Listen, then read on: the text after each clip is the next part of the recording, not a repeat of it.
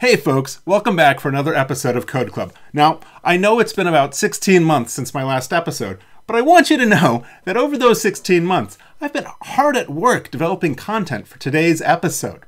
If you recall, uh, at the end of that series of videos, we were generating this visual showing the level of drowsiness over the previous month relative to that same period of time over the previous 50 years.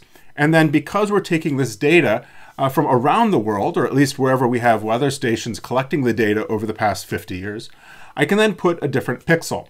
And the redder or browner the color, uh, that indicates more of a drought-like condition. And the more green uh, indicates that it's been wetter that period of time. So kind of in the, the west of the United States, we see these green colors, which means it's been abnormally wet over the past month. And then where I live, just to the to the east of this black rectangle in Michigan, uh, it's been actually quite droughty over the past month, relative again to the previous 50 years for that same window of time. Now, we spent a lot of time developing this, and one of the things I was really excited about at the end of the last episode was all the awesome tools that we had used. We used R to generate the visual. We used a lot of bash-based tools to do a lot of data processing. Uh, we used things like Conda to get tools and to control the version of the tools that we were using. We're using Git for version control, and we're using GitHub Actions uh, to fire this script off every day. So every day, this web page gets updated. So really, there's a lot of great tools baked into this. Oh yeah, there's also Snakemake. So many, so many tools that allow us to regenerate this. And so while I say I've been working on this every day for the last 16 months, Really, I've been offloading that onto GitHub to do for me. And the reason we're able to do that is because we approach this project with a mindset towards reproducibility. I've been reproducing, or GitHub Actions has been reproducing, this same script every day for the past 16 months. Now, when I look at this, I could swear that when I left you 16 months ago, this, this map looked a lot similar to what it looks like today. At least I know in Michigan 16 months ago, it was also fairly droughty. I'm curious, has that changed over time? So what I want to do in today's episode is I'm going to make a GIF with you, or a GIF depending on how you pronounce it, where every uh, frame in that GIF will be a different day's worth of data. And so we can then see the time lapse over 16 months of how this map has changed. Well, how are we going to do this? We're going to use a lot of the great tools that we used before I took this little break. um, and so let's see if we can remember how to use those tools as we get going with today's episode.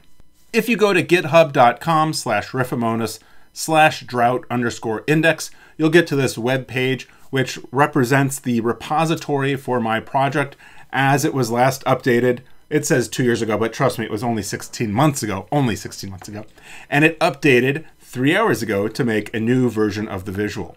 So if I want to get a copy of this, I can go ahead and click this green code button, and then I'm going to use SSH. There's a lot of different ways that you can get this. I'm going to go ahead and copy that to the URL. I will then open up my terminal, and I'm in my home directory, so I'm happy to work out of the home directory. I'll go ahead and do git clone, and then I'll paste in the address to the repository. Go ahead and hit enter. It's going to now take everything that's in the history of the Git repository and download it to my local hard drive.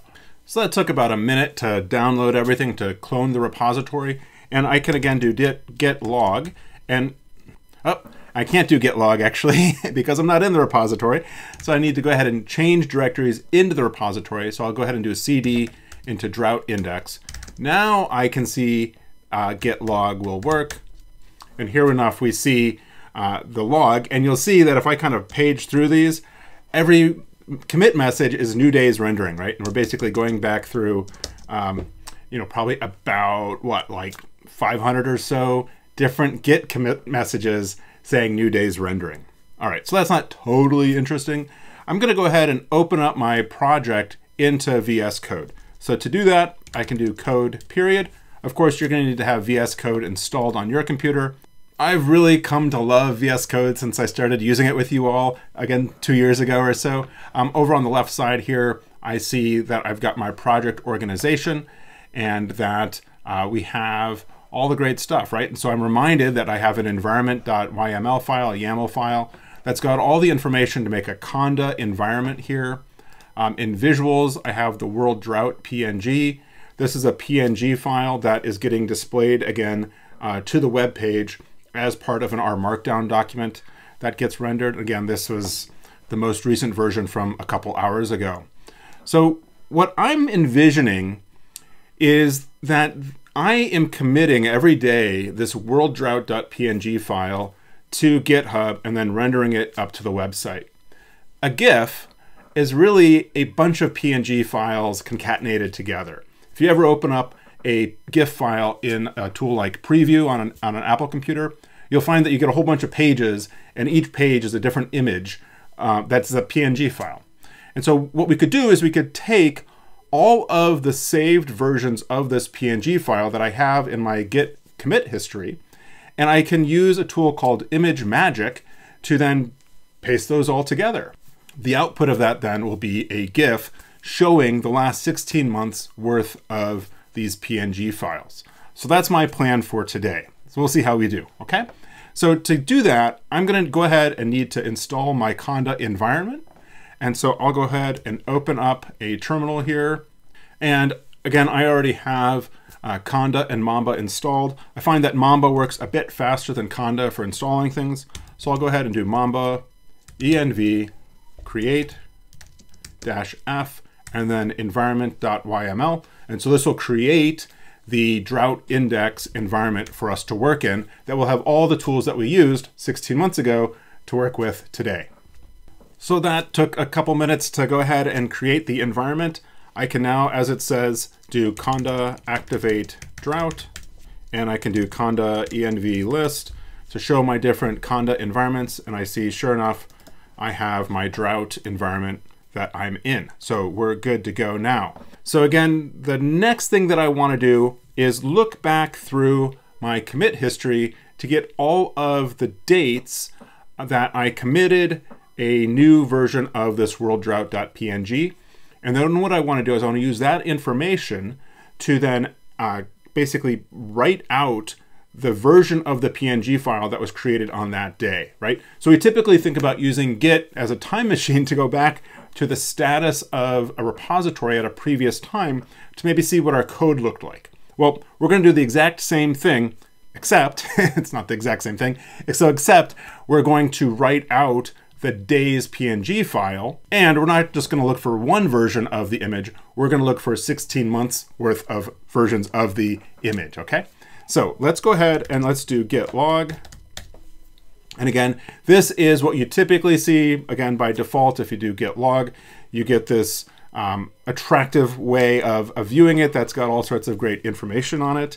If I were to do git log hyphen hyphen pretty equals one line, this is a one line version of git log. And so you can see, I don't know how many are here, maybe 40. Uh, and again, if I hit the spacebar, I can kind of tab through these to see all the different versions uh, that we committed.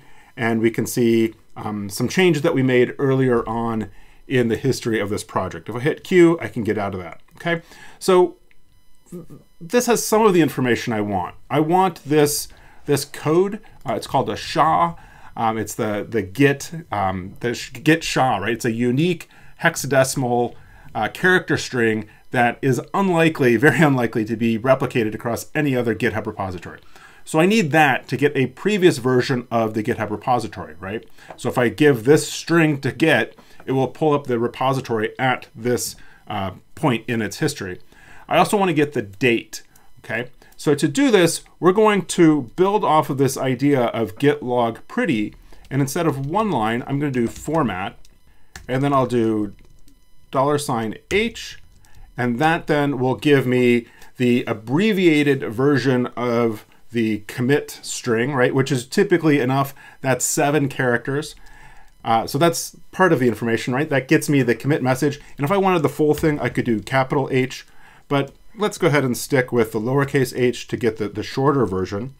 And then I can do percent %AI, and that will then get me the date and the timestamp of uh, that commit, right? So then this will give me the commits uh, or the date that the commit was made, right? And so I can imagine saving my PNG file with this date as its file name, and then I can put those file names in order and then again concatenate them together to make my GIF.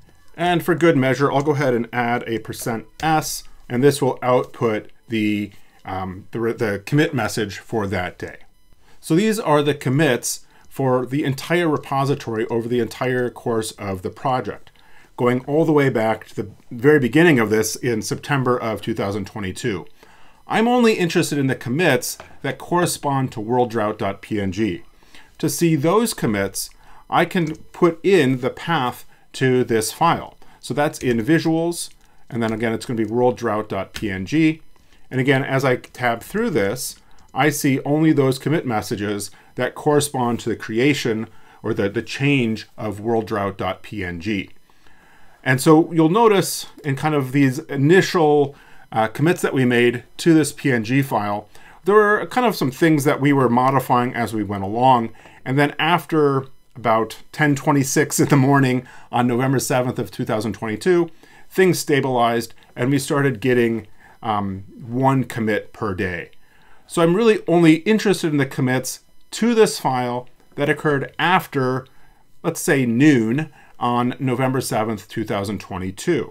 I can get that by doing hyphen hyphen after and then giving the date and the timestamp that I want to get the commits after, right? So again, it's going to be 2022 hyphen 11 uh, 07, and then I'll do 12 00 00. Up. And so it's telling me that after must come before non-option arguments. So this visuals world drought PNG is the file name. So I've got to put my after before that. So no biggie. We'll go back here and we'll do hyphen hyphen uh, after, and then again, we'll do the same thing. 222 hyphen 11 hyphen 07 12 00 00 and get the close quote. Now run it, and we now see one commit per day um, going back to uh, about 5.50 p.m. on November 7th, 2022. I should also point out that I know that in here there might be a couple gaps where for whatever reason the website that I was pulling the data from wasn't working. And so we'll live with that, right? Uh, we'll live with a couple day gaps over 16 months. That's pretty cool. All right. So now we have this information. And again, what I'm most interested in is the SHA as well as the date, because that way I can go back to that date, get the PNG version of this file, and then output it to that date.png as the file name. All right. And so what we might think about doing is redirecting this to another file, right? So I could call this like log.txt. And now I'll see over here, I've got log.txt as a file with all those um, commits, right? Um, but what we could do instead is redirect this not to a file, um, but to the stream in my bash window. I can redirect it to a for loop. And so that's what I'll do here. But this is starting to get kind of long. So what I'm going to do is create a new file. And I'm going to have this as a bash script.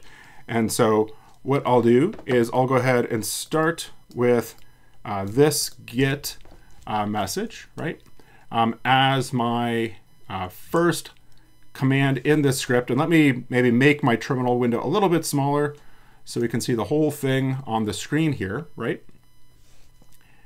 And so now what we'll do at the end of this line is put a vertical line for a pipe. Uh, in R, we're used to having a pipe character, right? The percent greater than percent or the vertical line, and then the greater than sign. Those are pipes for flowing data. That comes from uh, what we're doing here with Bash, with a vertical line representing a pipe, where we're flowing data through different steps in a script.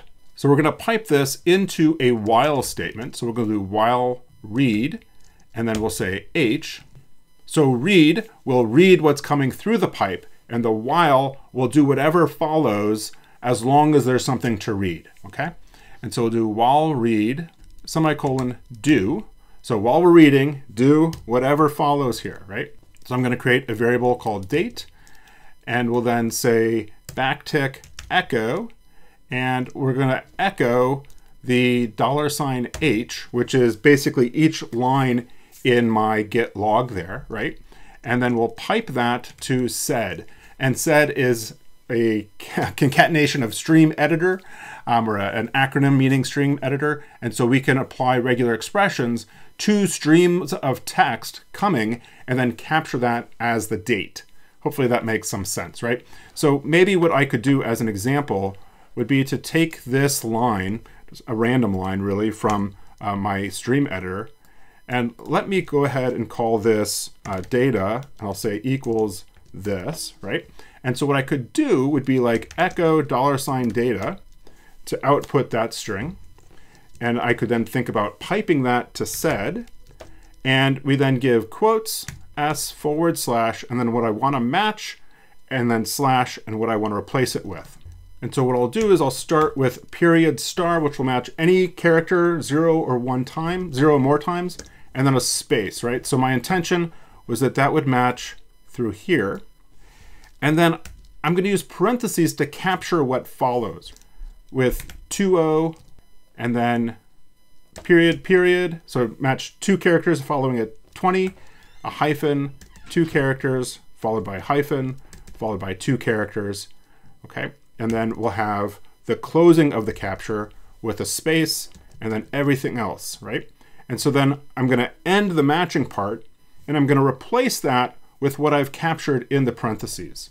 To do that, I'll do backslash one, and then I'll go ahead and close that with another quote. And so it's saying uh, sed one not defined, uh, or backslash one not defined in the regular expression. And that's because uh, these parentheses for capturing need to be escaped. So I need a backslash in front of those parentheses. Now I run that, and you'll see that from this string, I get this string, right? So I'm going to go ahead and copy this to my text editor here. And we're going to bring that all together. And I need to then close it with the back tick to match that back tick, right? And then I'm going to do echo dollar sign date. And then I'm going to do a done. Uh, and let's run this. And what we should get is all of the dates coming to the screen. And sure enough, we get all of the dates for the past 16 months. Wonderful. The other thing we need are those hashes, right? And so I don't know why I did date first. I perhaps should have done uh, the hash first. But again, uh, if we come back to echo data, we could, again, do echo data, pipe that to sed, and it's going to be the same idea as what we used to get the date. And so what I will then do is period star with a space followed by a 20, uh, two characters, and a hyphen, and then I'll go ahead and do dot star. Um, and I'm forgetting all the syntax for sed. I need s forward slash, and then I need to capture the hash, right? Uh, and so again, I need the backslash before that open parentheses and a backslash before the closing parentheses. And then I need the forward slash. So, so this is the pattern that I'm trying to match. Again, I'm trying to match um, zero or more characters with a space and then the 20. Maybe to make it a little bit more specific, what I'll do is I'll put a caret at the beginning of my pattern. That caret will tell sed to match at the beginning of the string. And now I want to replace that with backslash one and a forward slash and the quote to close off the regular expression. And so there I get the hash for uh, the data that, or the example that I've, I've grabbed here, okay? So I'm gonna go ahead and copy this and I'll create hash equals backslash echo dollar sign H and then throwing in the sed, uh, the pipeline from the terminal there, right? So that all looks good. And if I do echo dollar sign hash, and now if I run all this, and I, I run it, and I entered that, and I'm still getting the prompt like it's expecting more, and I noticed that I forgot the back tick uh, when I put in the hash. So I'll go ahead and recopy this, and then I'll do Control C at that prompt to git back to a normal prompt, paste it in, and now I get the date and the hash for every commit in the history here. Cool. Now we're ready to use the hash information to get the visuals world drought.png file for all of these commits. And so in this loop then, we are going to incorporate another get statement to write out the status or the, the, the file visuals world drought.png for all of those hash commits. So I'm going to try it down in the terminal first before I start looping over everything, right?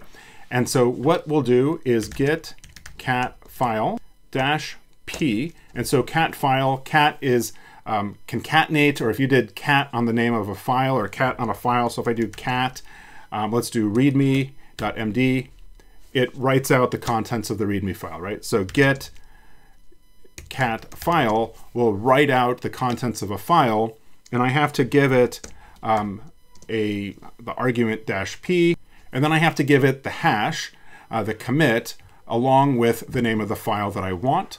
And so again, I'm going to randomly grab one here uh, as a hash, and then colon, and then visuals worlddrought.png. And this is what a PNG file looks like when spat out to your screen. It's kind of uh, totally screwed up my prompt, as you'll see. And what I want to do is write that out to a new file. So I forgot what the date was, but I could imagine doing something like 2022, um, or maybe it's more recently, right? 2023 03-01.png. And so now I see over um, in my Finder pane here, I've got a version of the map, right? And so this is the version of the map from that previous commit. So that's cool.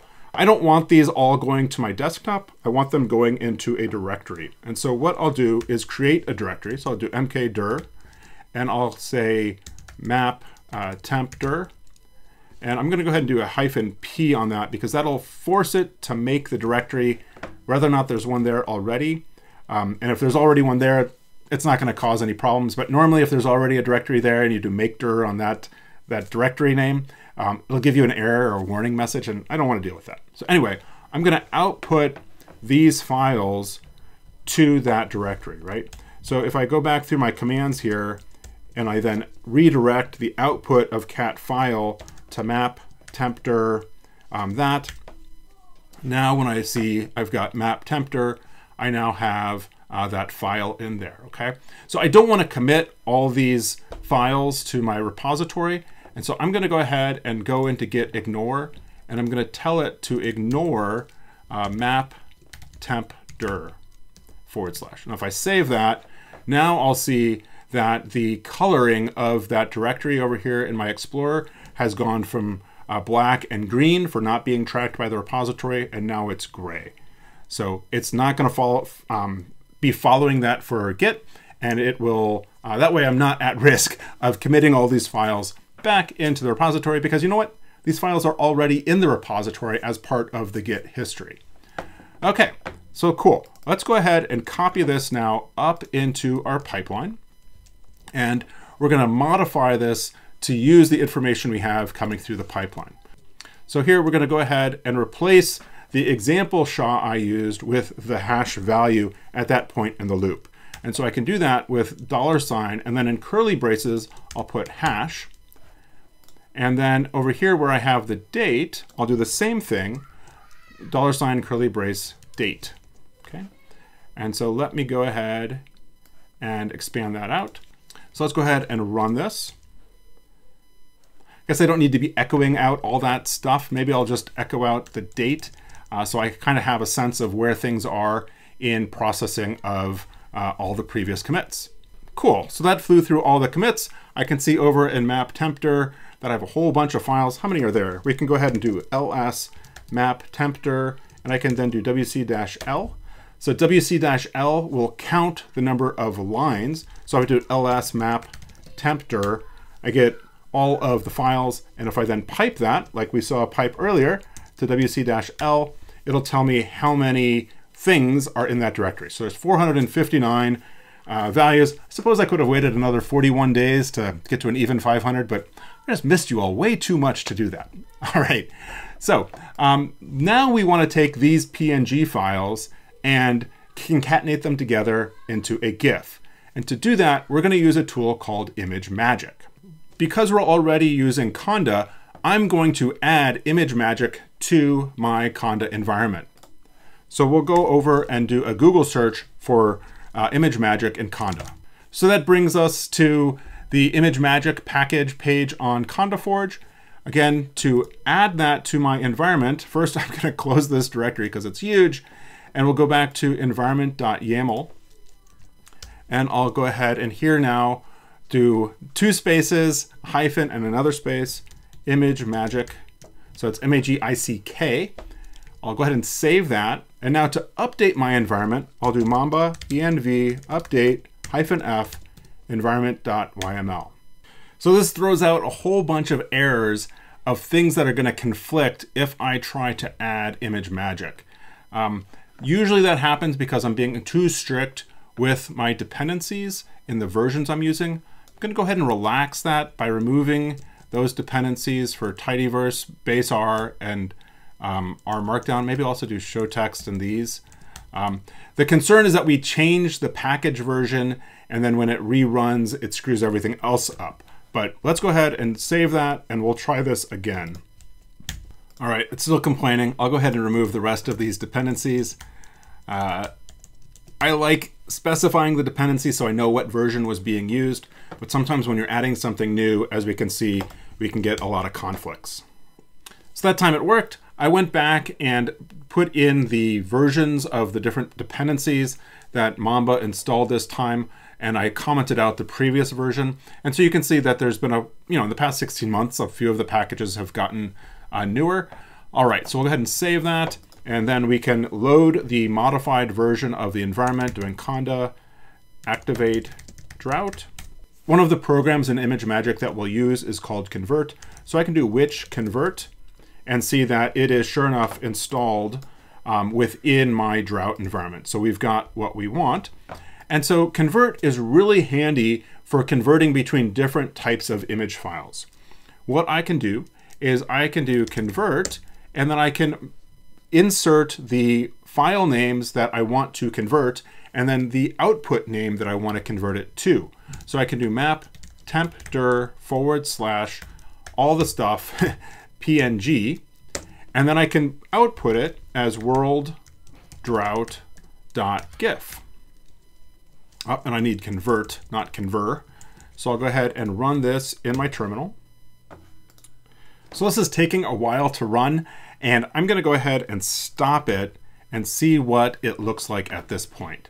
So I'll go ahead and do open worlddrought.gif. This will open it in Mac Preview. So you'll see that it's opened as worlddrought.gif, but that it has uh, 74 uh, different pages to it, right? And so again, each page being a separate uh, PNG file. Let's go ahead and open it up in Chrome because Chrome will allow us to view it as, uh, as an animated GIF. So let's go ahead and do file open file and it's in, where did I put it? uh, drought index, and then worlddrought.gif. So it's showing the GIF and it's going, but it's really fast. And so what I'd like to do is maybe slow it down a little bit so that it, it's a little bit easier to see what's happening on each day. I obviously don't want to spend a lot of time at each day with as many images we, as we have because that'll take forever. Um, but let's see if we can slow it down a little bit using the arguments that we send to convert. So I'm going to add an argument here, dash delay, and I'm going to give it the number 20. So let's go ahead and run this and we'll let it go and I'll stop it halfway through or partway through and see if that does a better job of slowing things down. So we're only partway through the processing, but I really like this speed of kind of the update day after day. And so I think that looks pretty good. Um, and so it'd be great to see it then obviously go over all of the day's worth of data. I'm gonna, before I let it run all the way through though, I'm gonna clean this up a little bit and I'm to output worlddrought.gif into my visuals directory. Uh, so I'll put that visuals directory before worlddrought.gif. I'll go ahead and clean up some of this other stuff, um, like removing the 2023 0301 PNG file and the worlddrought.gif file. Okay, and yeah, and I'm also going to remove the log .txt file that we used to kind of show how we could redirect the output of git log. Remember that? And I will then go ahead and put a shebang line on this. So usr uh, env bash, and then at the bottom, I'll go ahead and remove the map temp dir. So I'll do rm hyphen rf map temp dir, uh, and that will clear out the entire thing. And then I'll go ahead and save this into my code directory as um, build gif.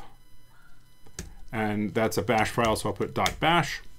I'll go ahead and make it executable. So I'll do chmod uh, plus x on code build gif.bash. And now I can do code build gif.bash. So it's not liking the shebang line. I had user env. Let's look at one of these other ones. Oh, I did user bin env bash. So let's use that instead. Go ahead and replace that, save it, run it, and let it roll. We'll see how long this takes. Um, but at the end, I will be able to show you uh, the GIF of 16 months worth of the worlddrought.png images uh, animated as a GIF. And so I'm pretty excited to see what that looks like. So that took about 45 minutes to run through. Uh, it took a little bit longer than I thought. The final output file was 70 megabytes, which is larger than the biggest file that we can upload to GitHub. The maximum file size that you can upload to GitHub without it complaining and yelling at you is 50 megabytes.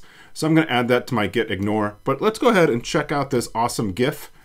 Um, it's maybe going a little bit faster than I had thought it would, um, but we can see it kind of chugging through those days.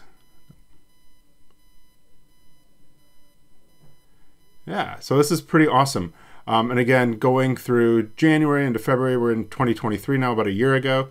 Um, and again, I'm um, here just to the east of that uh, black rectangle, and you can see it does go through kind of a wet period in the spring. Again, you might say, well, that's the spring, but again, this is the previous month relative to that same window um, over the past 50 years.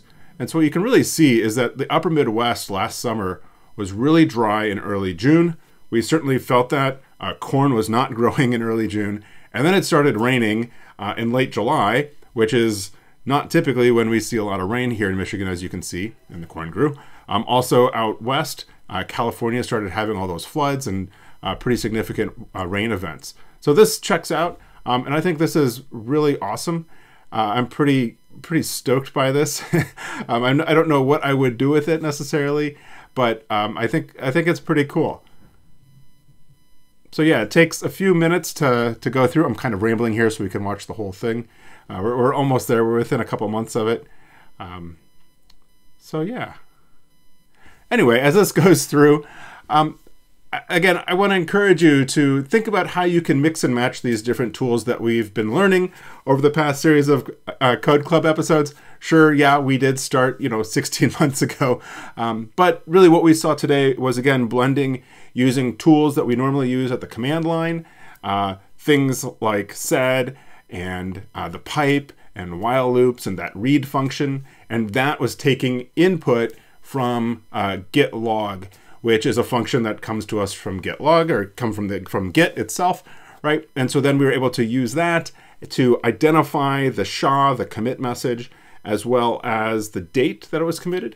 And we could then use that to output the state of um, worlddrought.png on that date, output it, and then we could use ImageMagick to go ahead and put it all together as a GIF, which we're seeing now.